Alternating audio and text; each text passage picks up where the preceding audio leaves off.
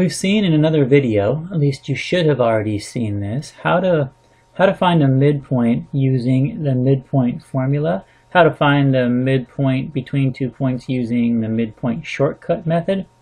And now I'm going to show you one more method, and that's finding the midpoint with a graph. So we're, we're assuming that you're getting a question on a test or a quiz or a homework assignment asking you to find the midpoint of a line segment and they give you the line segment on a graph like you see right here in this example. Um, go ahead and turn in your Intro to IM2 flipbook, turn to section number 2. The part that we're filling out is the bottom flap of section number 2, the left side only. And I have titled this Midpoint with the Graph. So again, if you're given a line segment on a graph, you can use this method for finding the midpoint. Now you don't have to use this method. You can use the midpoint formula. If you take a look at this graph and just figure out the coordinates for A, that'd be 1, 2, 3, 4, negative 4, 1, 2, 3, 4, positive 4, so negative 4, positive 4. B is positive 2, negative 1. You can just plug those coordinates into the midpoint formula and you'd be fine. You would be able to solve it that way. But there's a little faster way when the points are on a graph. I'm going to show you these steps, write these down in your flipbook, and then I'll go ahead and demonstrate how to do this. So step number one for finding a midpoint with a graph is create a right triangle. This looks a lot like finding the distance between two points with the graph. So first thing you do is you create a right triangle. We'll do that in a moment. Second step is mark the middle of the horizontal leg. So the leg of the right triangle, that's horizontal, meaning it's, it's uh, drawn from left to right. It goes left to right. We're going to mark the middle of that horizontal leg.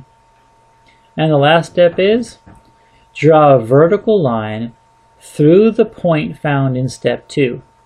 The intersection is the midpoint of the segment.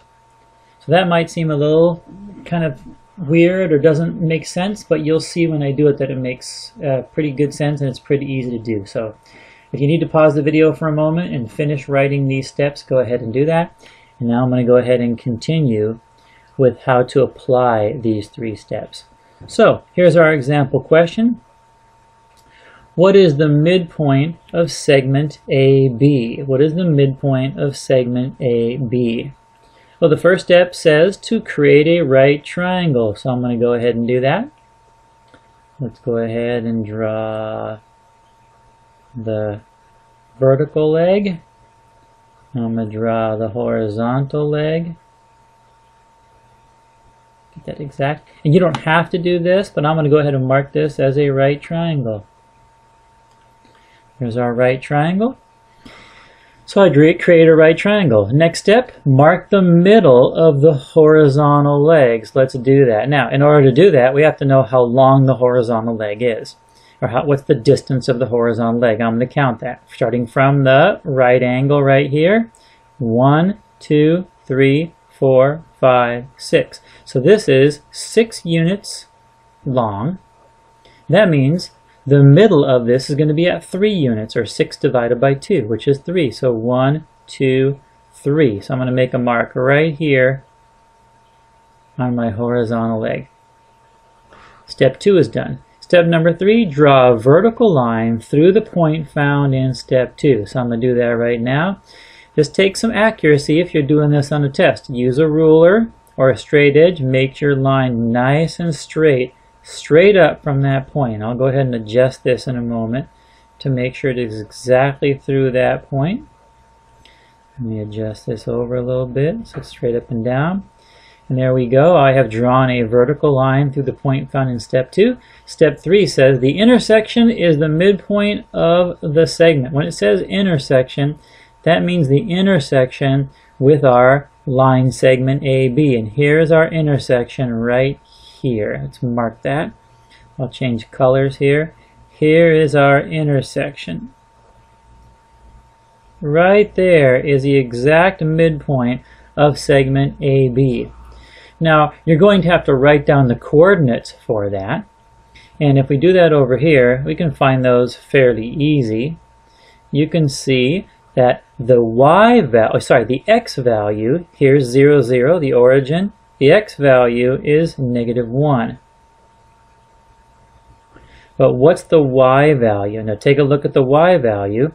We know it's positive because we're moving up, but it's more than 1 and less than 2. And you can see that point appears to fall exactly in between the second the first unit and the second unit. So it is the coordinates for this midpoint are negative 1 on the x-axis and positive 1.5 on the y-axis. 1.5 on the y-axis. Now again, if you want to just check this theory out, class, if you find the coordinates for A and the coordinates for B and use either the midpoint formula or the midpoint shortcut, you're going to find you're going to get this exact same answer. The midpoint will be at negative 1 comma 1.5.